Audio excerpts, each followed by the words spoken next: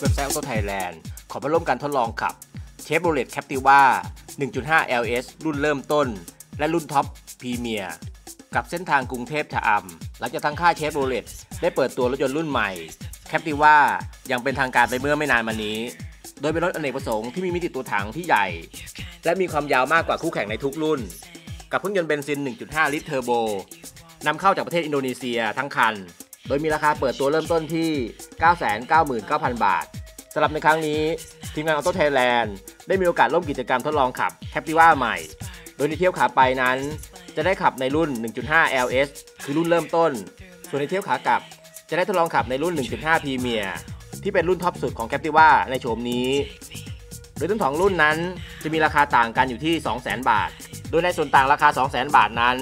รูปโฉมภายนอกโดยรวมนั้นจะคล้ายกัน โดยในรุ่น Premier ไฟหน้าจะเป็นแบบโปรเจคเตอร์ LED ส่วนในรุ่น LS จะเป็นแบบโปรเจคเตอร์ฮาโลเจนและยังมีไฟเลี้ยวและไฟส่องสว่าง ในการขับขี่ในเวลากลางวันแบบ LED พร้อมไฟตัดหมอกหน้าสำหรับรุ่นท็อป ส่วนเมื่อมามองที่ด้านข้างนั้น รุ่น Premier จะมาพร้อมกับล้ออะลอยแบบสปอร์ต two-tone ขนาด 17 นิ้ว ส่วนในรุ่น LS นั้นจะเป็นล้ออะลอยสีบรอนซ์ขนาด 17 นิ้วเช่นกัน มากันที่ภายในห้องโดยสาร วัสดุหุ้มเบาะในรุ่น Premier จะเป็นหนังสังเคราะห์สี charcoal ที่ให้ความรู้สึกหรูหรา ส่วนในรุ่น LS จะเป็นผ้ายีนส์ขอบดำ ส่วนบริเวณคอนโซลกลาง จะมีหน้าจอ infotainment ระบบสัมผัสขนาดใหญ่ 10.4 นิ้ว มาให้ทั้งคู่ แต่ในรุ่น Premier จะมีระบบปรับอากาศแบบอัตโนมัติ พร้อมช่องแอร์สำหรับด้านหลัง ทั้งแถว 2 และแถว 3 ที่สามารถปรับความแรงของลมได้ด้วย และยังมีกล้องมองภาพรอบทิศทางแบบ 360 องศา มาให้ในรุ่นนี้อีกด้วย โดยชุดเบาะโดยสารด้านหลังนั้น ในรุ่นพรีเมียร์จะเป็นแบบ 3 แถว 7 ที่นั่งพวงมาลัยหุ้มหนังเป็นแบบมัลติฟังก์ชัน ปรับขึ้นลงได้แค่อย่างเดียว ไม่สามารถดึงเข้าหาตัวได้ โดยชุดปุ่มที่พวงมาลัยนั้น ด้านซ้าย จะควบคุมระบบควบคุมความเร็วอัตโนมัติแบบธรรมดา ซึ่งยังไม่สามารถรักษาระยะห่างจากคันหน้าได้ ในแบบ Adaptive Cruise Control ส่วนชุดปุ่มที่ด้านขวา จะควบคุมระบบเครื่องเสียงจาก Infinity ที่มาพร้อมลำโพง 9 ตัว และการกดรับโทรศัพท์ และเบาะที่นั่งผู้ขับขี่ จะสามารถปรับได้ด้วยไฟฟ้าแบบ6ทิศทางเป็นต้น นอกจากนี้ในรุ่น Premier ยังมาพร้อมกับหลังคา panoramic sunroof ที่มีขนาดใหญ่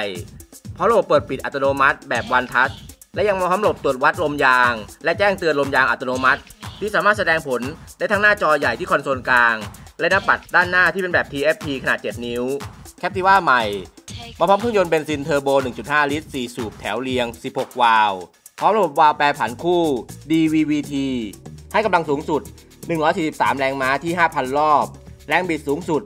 250 นิวตันเมตรที่ 2,400 รอบ ขับเคลื่อนด้วยล้อหน้า ส่งกำลังผ่านระบบเกียร์อัตโนมัติ CVT 8 speed พร้อมโหมดชิปคอนโทรลบวกลบ โดยเครื่องยนต์ตัวนี้ จะสามารถรองรับน้ำมันเชื้อเพลิงได้แค่ E10 ช่วงทดสอบ Chevrolet Captiva ใหม่กับทีมงาน Auto Thailand สำหรับในการเดินทางในขาไปนั้น เราได้ทดลองขับ Captiva 1.5 LS รุ่นเริ่มต้นที่มีผู้ร่วมโดยสารทั้งหมด 3 คน ดยจะมีจุดแวะพักให้สลับการขับขี่ โดยเริ่มออกเดินทางนั้น เราไปเป็นผู้นั่งโดยสารก่อน โดยในรุ่น LS นั้นจะเป็นแบบ 5 ที่นั่ง จึงทำให้พื้นที่ห้องโดยสารด้านหลังนั้นค่อนข้างกว้าง จากตัวรถที่ยาวที่สุดในกลุ่ม พื้นรถด้านหลังจะเรียบเสมอกัน ไม่มีป่องอุโมงค์เกียร์ ในแบบรถหลายรุ่น โดยในช่วงนั่งโดยสารนั้นตำแหน่งนั่งเบาะหลัง จะรู้สึกค่อนข้างร้อนไปสักนิด ถ้าเปิดแรงลมที่ด้านหน้าไม่แรงมาก ทั้งทั้งที่ด้านหลังก็มีช่องแอร์มาให้ และเมื่อลองพับเบาะหลัง ก็จะพบว่าไม่สามารถปรับแบบแบนราบได้ แต่ก็ยังสามารถเพิ่มพื้นที่ใช้สอยด้านหลัง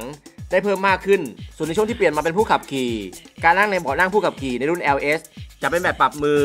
ตัวเบาะไม่ค่อยกระชับ ถ้าขับขี่ในทางตรง ก็นั่งสบายดี แต่ถ้าต้องขับขี่ในทางโค้งซ้ายขวา จะพบว่าจะต้องเกรงตัวช่วย จากตัวเบาะที่ปีกเบาะจะค่อนข้างเรียบ ไม่กระชับช่วงขาสำหรับความรู้สึกในการทดลองขับนั้น เราเดินทางกันทั้งหมด 3 คน อัตราเร่งในช่วงออกตัวนั้น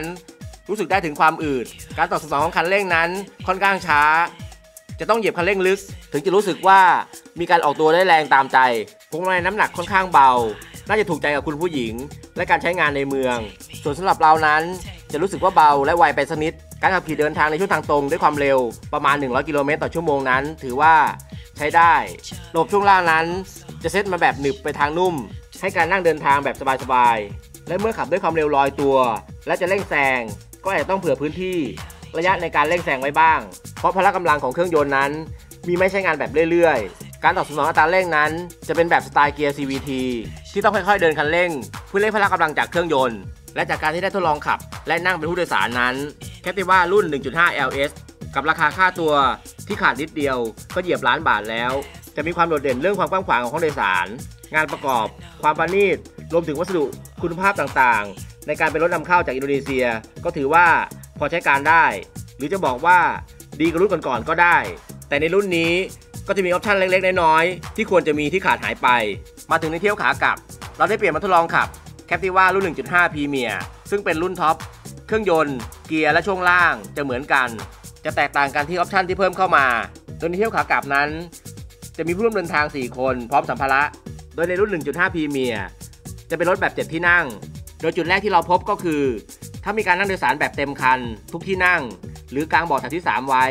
จะไม่มีที่วางของ เพราะพื้นที่ด้านหลังที่เหลือนั้น จะค่อนข้างจำกัด และการขึ้นลงตัวรถไปนั่งยังเบาะแถวที่ 3 นั้น จะต้องพับเบาะแถวที่ 2 ฝั่งผู้โดยสารด้านหน้า เพราะอีกด้านหนึ่งไม่สามารถพับขึ้นได้สำหรับเบาะแถวที่ 3 มีพี่ที่ร่วมเดินทาง อาสานั่ง โดยเบาะแถวที่ 2 นั้น เราเป็นผู้นั่งโดยสาร ซึ่งทั้งเบาะแถวหน้าและแถวที่ 2 ปรับระยะการนั่งแบบสบายๆพี่ที่นั่งที่เบาะแถวที่ 3 ก็ยังสามารถนั่งโดยสารจากชะอำกับกรุงเทพได้แบบสบาย แต่พื้นที่วางขาของบาะแถวที่ 2 นั้น จะน้อยแต่ก็เพียงพอสำหรับการยืดแข้งยืดขา ในการเดินทางยาวๆ ได้แน่นอน โดยในช่วงเดินทางจะสังเกตได้ว่า ในรุ่น 1.5 Premier 7ที่นั่ง ที่ระบบแอร์จะเป็นแบบอัตโนมัติ จะรู้สึกได้ว่าเย็นสบายกว่า เพราะจะมีช่องแอร์ในแต่ละแถวที่นั่งให้ได้ใช้งานทำให้รู้สึกว่าช่วงโดยสารด้านหลัง จะเย็นสบายกว่าในรุ่น 5 ที่นั่ง ส่วนในช่วงที่เปลี่ยนมาเป็นผู้ขับขี่ Captiva 1.5 Premier ตัวเบาะนั่งผู้ขับ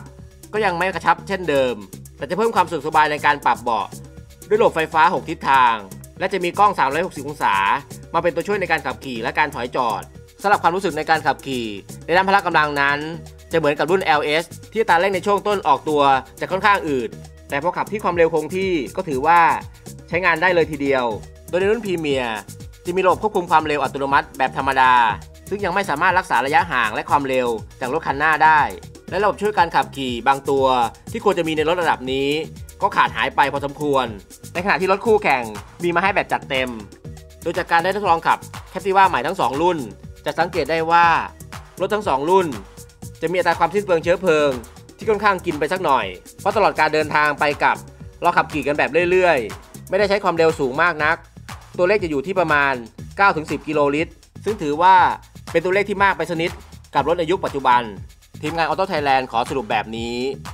Chevrolet Captiva ใหม่ ที่มาพร้อมเครื่องยนต์เบนซิน 1.5 ลิตรเทอร์โบ ถ้าจะถามว่ามีกำลังเพียงพอไหมก็ต้องบอกว่า เพียงพอกับการเดินทางแบบเรื่อย ๆ ได้สบาย กับเส้นทางตรงๆ ไม่ได้ขึ้นเขาลงห้วยอะไรมากนัก แต่จุดเด่นของ Captiva ใหม่ จะอยู่ที่ความกว้างขวางของห้องโดยสารเบาะนั่งทั้ง 3 แถว สามารถใช้งานได้จริง ช่วงล่างของตัวรถจะมาในแนวหนึบไปทางนุ่ม เหมาะการเดินทางแบบครอบครัว แต่ถ้าถามว่าถ้าให้นำไปเทียบกับรุ่นอื่นในกลุ่มเดียวกัน หรือในราคาใกล้เคียง ก็ต้องบอกว่าน่าจะเหนื่อยเอาเรื่อง ไม่ว่าจะเป็นถ้าเทียบกับ MG HS ก็ต้องบอกว่าสมรรถนะในการขับขี่นั้นไม่แพ้กันมาก แต่เรื่องออปชั่นคุณภาพวัสดุ งานประกอบ ทาง MG จะยังดูดีกว่าหน่อยๆ ส่วนในเรื่องรูปโฉมนั้นก็แล้วแต่ชอบ แต่ถ้านำไปเทียบเรื่องราคากับเจ้าตลาดอย่าง HRV หรือ CHR Captiva ใหม่ ก็จะได้เปรียบเรื่องมิติตัวถังที่กว้างใหญ่กว่า แต่สุดท้ายเรื่องสำคัญของการใช้รถก็คือ การบริการหลังการขาย ที่ทางเชฟโรเลตจะห่างหายกับการออกรถโมเดลใหม่ ๆทำให้เห็นว่าโชว์รูมจะลดน้อยลงไปบ้าง ซึ่งถ้ามาตอบคำถามว่า Captiva ใหม่ น่าใช้หรือไม่ ก็ต้องบอกว่ายังน่าใช้เหมือนกัน แต่ถ้าเอาไปเปรียบเทียบกับคู่แข่งกับค่ายอื่นๆ ก็ต้องกลับไปทำกันบ้านกันอย่างหนักเช่นกันครับ ติดตามรายละเอียดเพิ่มเติมได้ที่เว็บไซต์ autothailand.com ครับ